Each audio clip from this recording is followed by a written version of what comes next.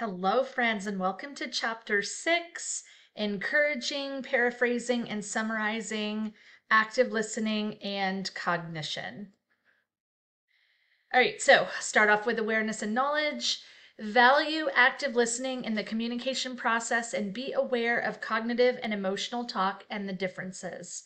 So basically, try to be aware of what the thought processes are and what the emotions are behind the talk that's going on and just understand the differences. Identify the roles of intentional participation, decision making, and responding to client conversation. Be aware of the importance of paraphrasing and reflection of feeling for providing feedback to the client that you are hearing them. All right, skills in action ability to demonstrate cognitive empathy and facilitate client cognitive understanding for clear decision making and more effective action. Ability to discern when the talkative client repeats the story too often or in too much detail. So sometimes you're really going to have to rein them in because when you're asking a client questions or when you're just trying to have a conversation, they might be very repetitive especially if you are looking at the time. You just want to be very mindful that you're getting everything out of the session that you need to or that they need to. And one important thing now that I'm thinking about time, it's a good idea when you're in your office to have maybe like two or three clocks in your office. Maybe if you're sitting, you know, like how I'm sitting, and then you're sitting across from the client, maybe have a, a clock right behind the client maybe if it's on a desk or on the wall. And then you can have another clock maybe to the side of you, and then you can have one behind you so that the client is also maybe mindful of the time. All right. Uh, ability to clarify for the client and you, the interviewer, what is really being said during the session. So we don't want to make any assumptions about what is going on. You want to be very matter of fact and clarify, you know, it, especially if you don't understand something. All right, ability to use the checkout to verify the accuracy of what you hear by saying back to clients the essence of their comments and providing periodic summarizations. So it is good. That's that's very much it's kind of parroting, mimicking that you're hearing what the client is saying and you just kind of like paraphrase or restate to so to actually to make them I just got choked up. Um not choked up, like tongue tied. So you want to make sure that you are understanding what they're saying and that you give them the sense that you understand. So sometimes if you're maybe a little unsure, you might want to just say, okay, so what I think I heard you say, or can you maybe repeat that, or is this what you meant? So whenever you find yourself in that situation, just ask. Uh, ability to promote through cognitive empathy, development of the brain's executive functions, central for organizing thoughts, regulating emotions, planning action, and implementing decisions. Encouraging, paraphrasing, and summarizing are active listening skills at the cognitive center of the basic listening sequence and are key in building the empathetic relationship. So, what you want to do, especially when you're meeting a client for the first time, you don't want to bombard them with a bunch of questions it's a bit overwhelming and it's a little too much when it's just like, okay, so tell me this. All right, so tell me that. All right, so what do you think when? Just like when it's boom, boom, boom, boom. So it's really good that as you're asking questions, that maybe then you're paraphrasing or you're summarizing, or because that really does help them believe. I mean, you should be doing this, but like they have a sense and a comfortability that you're actually listening to them when you can go back and ask them questions, especially if you're, you know, in your interview process or, you know, in the very beginning, and then maybe 20 minutes in, you go back to something that you remembered. Um, because then that gives them the sense that, okay, they really do listen to me. All right. When we attend and clients sense that their stories are heard, they open up and become more ready to change or ready for change. So, like I said before, if you go back and you reflect on things or you paraphrase or summarize, you know, you'll get your own natural little groove going when you're working with people. All right, leads to more effective executive brain function, which in turn improves cognitive understanding of issues and decision making. Active listening is a communication process that requires intentional participation, decision making, and responding to client conversation. Accurate listening leads to client understanding and synthesis, providing clients with a clear picture of their own stories. You know, sometimes when they're telling a story and you are, you know, really honing in and listening to that, and you're asking questions or you're again paraphrasing, encouraging, summarizing, whatever it is you're doing, it many times gives them a better understanding of the, their own story that they're telling. So it is good when you're not just nodding, nodding is good, but when you're, you know, asking for more or you're, you know, repeating something that they've said for understanding. All right. Active listening is central in facilitating our brain's executive functioning cognitive understanding, and making sense of the emotional underpinnings of the story. All right, encouraging. Encourage with short responses that help clients keep talking. They may be verbal, repeating key words and short statements, or nonverbal by head nods and smiling. So, so I just said a minute ago. Anticipated client response. Clients will elaborate on the topic, particularly when encouragers and restatements are used in a questioning, supportive tone of voice. So it's really important when you are, again, getting to know the client, your first session, maybe your second session, that you're not just hitting them with a ton of questions, but that you are, you know, actively listening to them and you're restating, you're, you know, you have a, a good tone about you, that it's not just, you know, monotone or direct or just boom, boom, boom. You just want to try to engage with them and be yourself. Try not to be too like stern or you know feel that you have to be this like certain type of way because when you do that they really they freeze up. So you just want to make sure that try to be yourself and you know that's how you'll get the best out of them all right paraphrasing also known as reflection of content Shorten or clarify the essence of what has just been said, but be sure to use the client's main words when you paraphrase.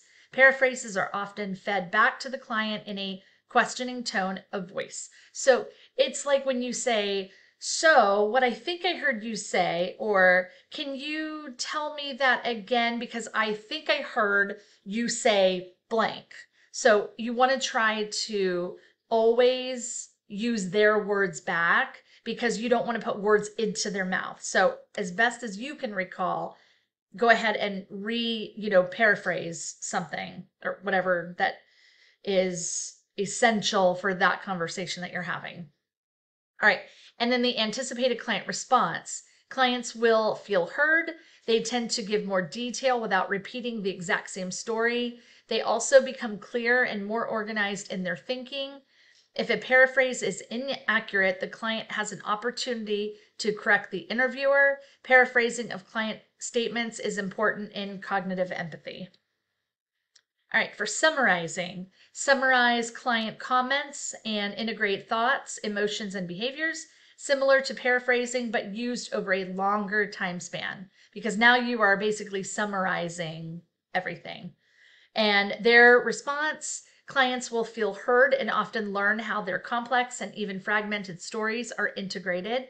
A summary helps clients make sense of their lives and will facilitate a more centered and focused discussion. I know that sometimes when I'm done with a session with somebody, even if I've been with them for a long time, it doesn't really matter.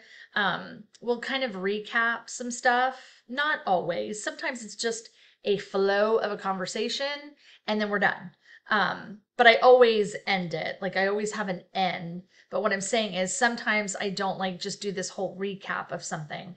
But when you do that and you kind of, you know, say, okay, from the beginning to the end, blah, blah, blah. A lot of times my clients will say, wow, now that you like said it like that, it really makes me think like I really didn't think about that. Or, you know, I'm a lot better than I thought I was. So it's really good when you are building them up and you're encouraging them, when you're paraphrasing things that they've already said, and then when you summarize the entire session. All right.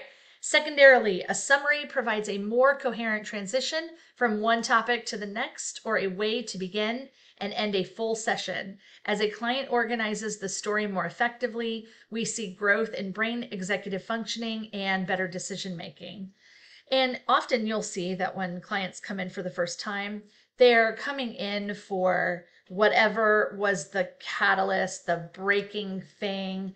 But obviously, that's not the main thing they need to be in there for. It's just what brought them in there. And so they may give you two or three or four different things to talk about, and they'll be all over the place. And that's okay.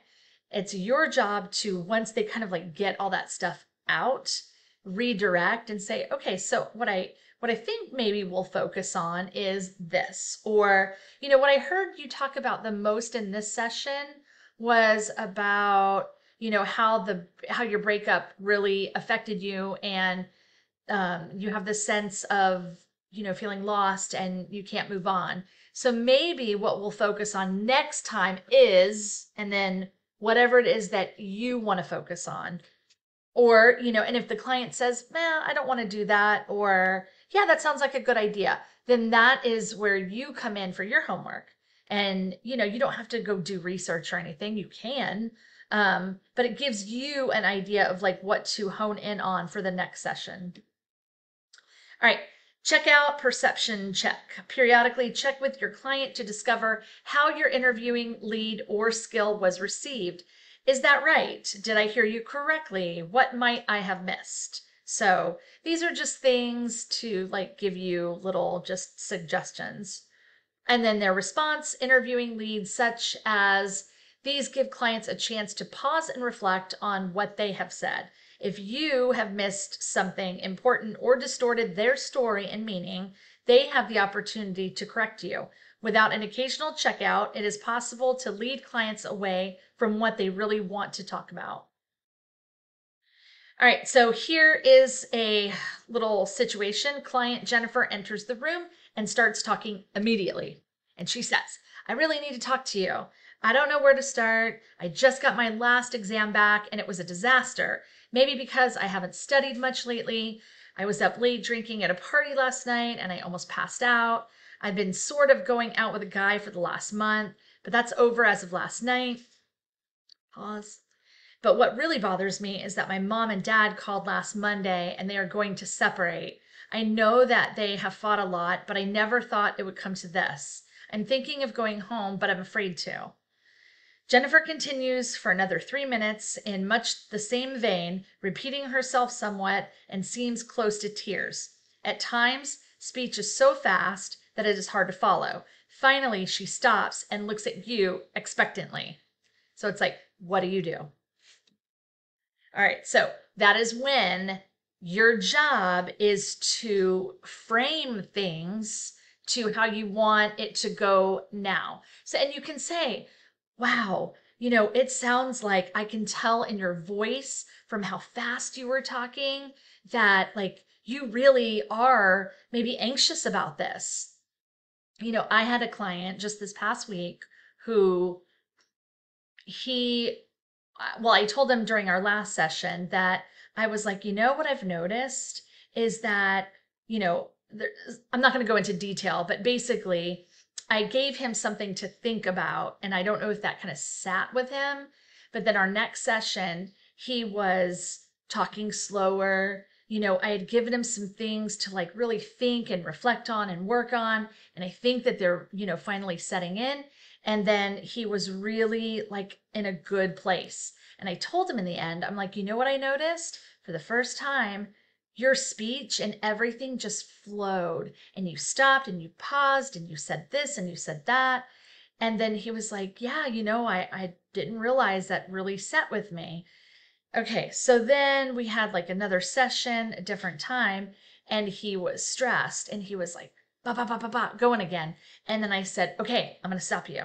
Like, cause guess what I'm hearing? And he's like, oh, I'm I'm going like a mile a minute. And I'm like, yes. So I'm like, I just want you to attend to your voice and what you're saying.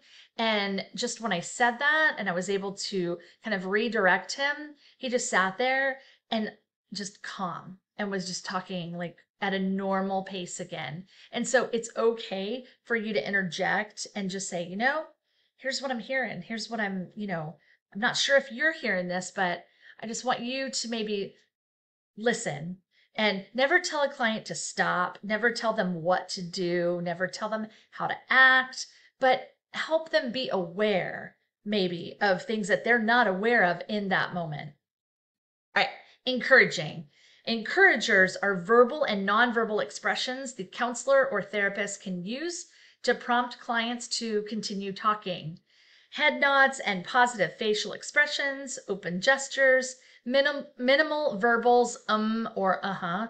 There's nothing more annoying, especially if I'm listening to a mock session and all I hear is mm hmm, uh huh, yep, mm, yep, mm hmm, uh, mm hmm.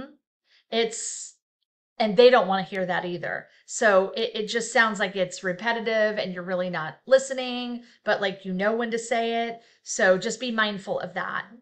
Uh, repetition of keywords from last statement and silence with appropriate nonverbal behavior. Sometimes when you're in a session, it's so appropriate to just be silent. And you'll know when those times are when they actually happen. All right, paraphrasing is the most important cognitive empathetic listening skill. An accurate paraphrase usually consists of four dimensions a sentence stem that may include the client's name, the key words used by a client to describe the situation or person, the essence of what the client has said in briefer and clearer form, and a check for accuracy. You know, is that what I did I hear that correctly? You know, just something like that. All right, summarize pulls together and organizes client conversation, supporting the brain's executive functioning.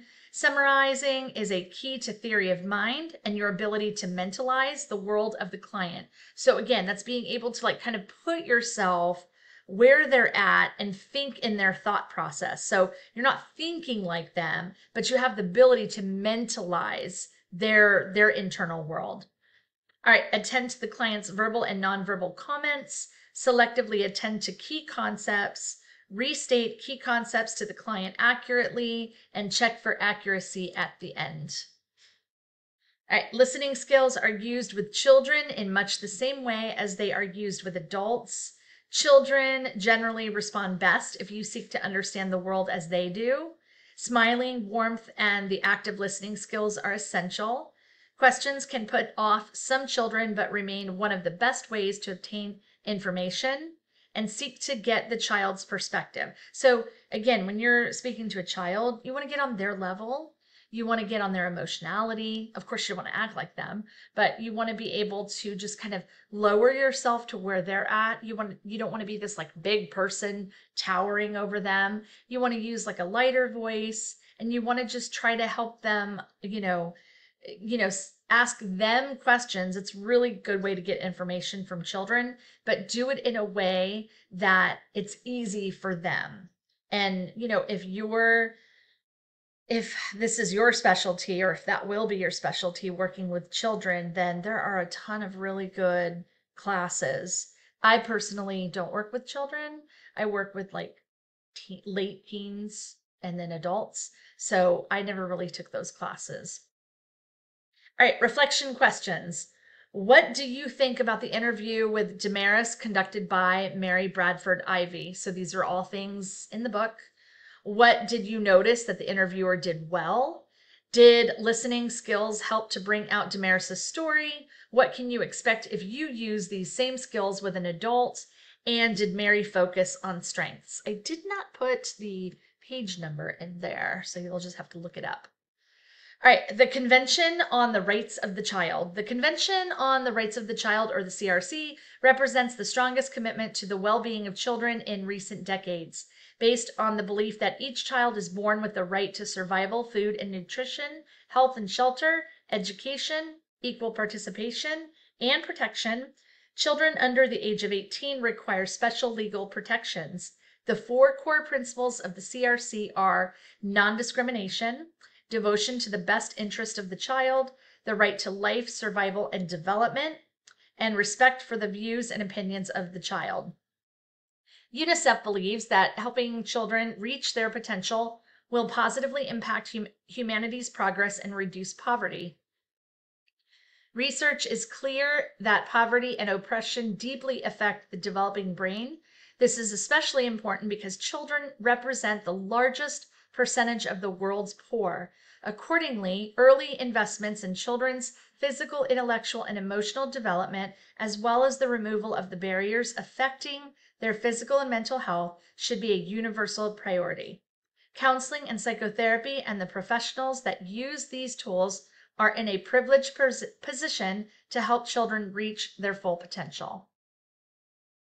All right, so when we attend to clients and use the active listening skills, we facilitate executive functioning and the development of a new neural networks that become part of long-term memory in the hippocampus. So basically, this is all the brain stuff now working. So when you are, you know, learning new things and you're you know, developing new concepts and listening skills, your neural pathways are going nuts. They're lighting up all over the place and they're like just going boom, boom, boom. They're opening up new lines, new roads to be able to create these new memories so that when you go to sleep at night, your, you know, that's the time when long term memories are solidified and then they go into your hippocampus which is located in your temporal lobe. Your hippocampus is what looks like a little seahorse.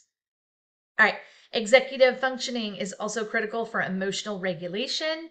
Cognitions may be defined as language based thought processes underlying all thinking activities. Therapies focusing on changing cognitions to achieve client change. Cognitive behavioral therapy, that is the number one go to rational emotive behavioral therapy or REBT, that's done by Albert Ellis, and then dialectical behavior therapy, DBT. Forgot who came up with DBT. It is escaping me right now. Um, but that is very good when you're working with borderline personality disorder. All right, language is one of the important issues related to the listening skills. Building trust requires learning about the other person's world. Involve yourself in the cultural communities and activities. Discuss cross cultural differences early in the interview. When you are culturally different from your client, self disclosure and an explanation of your methods may be helpful. And consider gender differences. So it is okay to, again, if you are not of the same cultural background as your client, it is okay to give them a little piece of what your culture is like and just tell them, explain them what it's like a day in your world. Um, and ask them, you know, tell me about some of your cultural beliefs, you know, some of your holidays, your celebrations. Get to like know who their community is and what they like to do, you know, for activities. And that really starts to build up that trust. All right, practice, practice, practice. Encouraging, paraphrasing, and summarizing are central skills to effective counseling and psychotherapy, regardless of your theory and choice and natural style. Intentional competence in these skills requires practice. Every client needs to be heard. Demonstrating that you are listening carefully makes a real difference. Achieving intentional competence takes time and practice. And you can see um, kind of a little glimpse of that on page 147. So our key points in practice, purpose of listening skills, encouragers, paraphrasers, summarizations, active listening, cognition, and executive functioning, diversity and active listening, a word of caution, and your portfolio of competencies and personal reflection. All right, so we did a good under 30 minutes today. Nice short um, lecture for this week. So, hope you all have an amazing week. And until next chapter, peace.